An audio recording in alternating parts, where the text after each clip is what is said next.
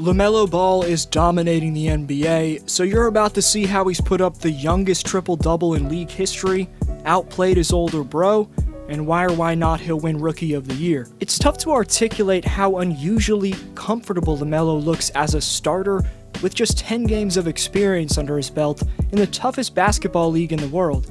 However, after Charlotte took down Atlanta 115 105 last night for their third straight win, with Ball posting 22, 11, and 12 on 9 of 13 shooting from the field, Hornets coach James Borrego put Melo's veteran looking game best, saying, quote, A 19 year old rookie does not look like this.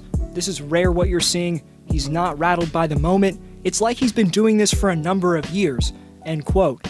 LaMelo showing the spirit, energy, and poise on the court that it takes most players half a decade plus to develop in the league. On Saturday night, Ball replaced Markelle Fultz as the youngest NBA player ever to record a triple double by 177 days. In the game today, LaMelo is one of the tallest primary ball handlers in the league, and his height allows him to see over the top of his matchup and pick apart defenses from there with his IQ. His 6'7, 190 pound wiry frame combined with his polished handle make him a potentially generationally great facilitator.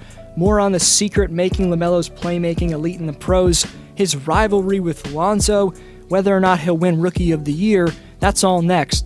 But I'm posting 4 to 8 minute NBA breakdown videos like this every day, as well as some lists, so hit thumbs up and subscribe if you're new. That's the best way to support this content. Appreciate you.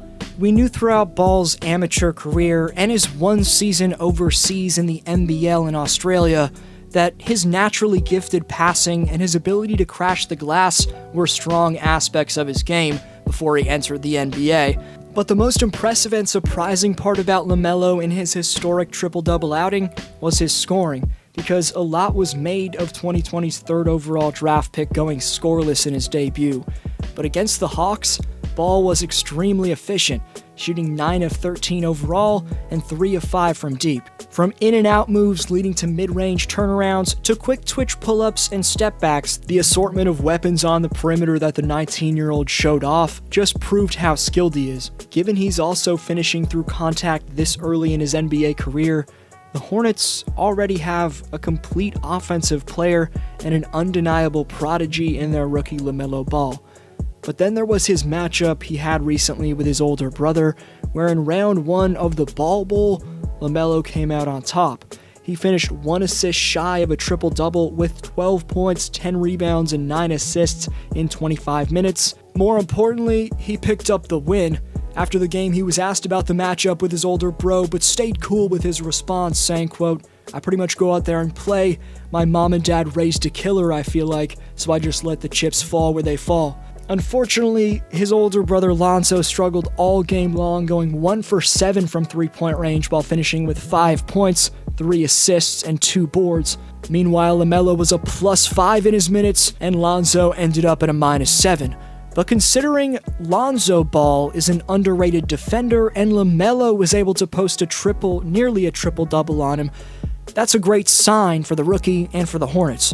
After he set an impressive triple double record the following game, LaMelo received praise from LeBron James, who reposted his performance on his Instagram story.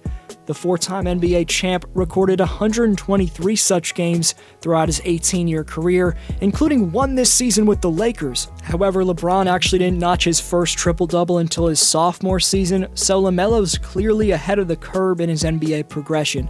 As I made the point of earlier, LaMelo's significant height advantage at point guard gives him the ability to clearly scope out his point of attack and manipulate defenders from there with his flashy passing.